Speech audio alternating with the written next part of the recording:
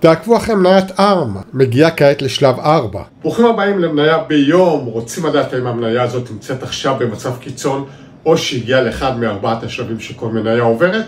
בואו נצלול לניתוח הטכני. אנחנו ביום שלישי, ה-25 ליוני 2024, מסתכלים על מניית ARM. בשבוע שעבר ניתחתי לכם את ARM כשהיא מגיעה למצב של קיצון. בואו נזכר בקטע מהניתוח הקודם. וככל שזה הולך ונמתח עד מצב ה-TOT, כמו שראינו, שהיה ברמת ה-CSC כל הזמן, אם אפשר לראות כאן את החץ, זאת הנקודה שבה אפשר לשים את האצבע ולהגיד, היום או מחר ARM תעשה את סיבוב הפרסה שלה. נסמן כאן את רמת ה-C שהייתה בזמנו, סביב אזור של 165 דולר למניה, נתקרב לחלק האחרון ואפשר לראות שארם הגיע כאן למצב של TOT שהמניה עשתה כאן את סיבוב הפרסה, מתקנת ובואו נראה לאיזה רמה היא מגיעה. ניקח את זה אחורנית ונסמן את הרמה החשובה שלב 4 של המגמה עולה זה היה 1, זה היה 2, כאן 3 וכל הדרך למטה אל האזור של 150 דולר למניה. זהו שלב 4, שלב הצטרפות אל המניה. בואו נסתכל מה קורה מתחת לפני השטח. אז אפשר לראות שמה תזרימת הכסף תואם לגרף המחירים וכעת הפאוור, אינדיקטור הקיצון, יצא ממצב הקיצון שלו.